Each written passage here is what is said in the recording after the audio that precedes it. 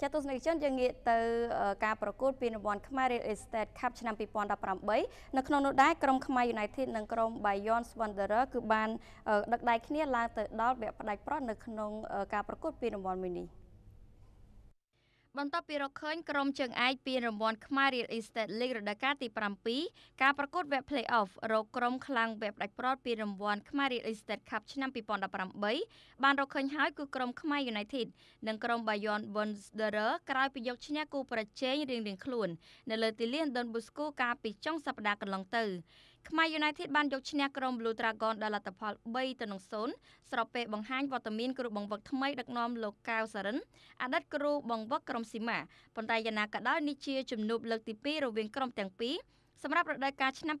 2018ខណៈលើកទី1ជួបគ្នានៅវគ្គសន្សំពិន្ទុក្រុមខ្មែរ United បានលុតក្រុម Blue Dragon ដល់ទៅ9ទៅ2ឯណោះ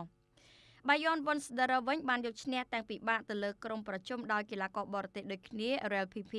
ដោយការទាត់បាល់ពេលនឹងទីកាត់សេចក្តីនៅក្នុងលទ្ធផល4ទៅ2ក្រោយឆ្លងកាត់ការប្រកួត90នាទីស្មើគ្នា2ទៅ2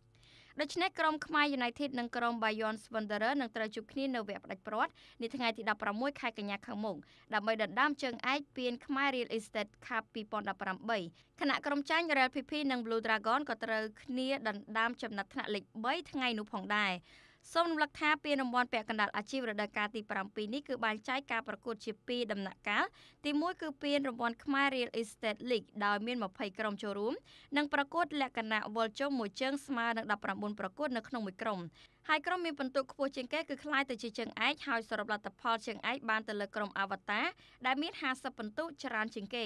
ទី2គឺពានខ្មែរ Real Estate Cup ដោយកំណត់ក្រុមឈរលេខ2ដល់លេខ5ធ្វើការចាប់គូប្រកួតខ្វែងគ្នា។